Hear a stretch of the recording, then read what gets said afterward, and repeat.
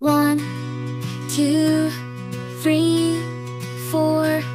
Here we go, counting numbers high and low. low. Five, six, seven, eight. Don't be late.